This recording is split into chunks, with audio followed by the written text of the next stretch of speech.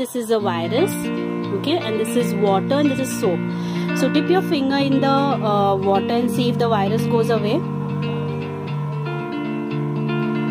did it go away is it has it come on your finger is it stuck to your finger Yeah.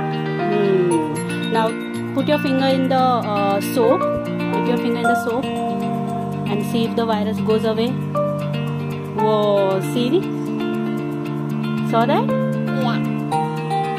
So when you wash hands, should you be washing it only with water or with soap and water? With soap and water. Right?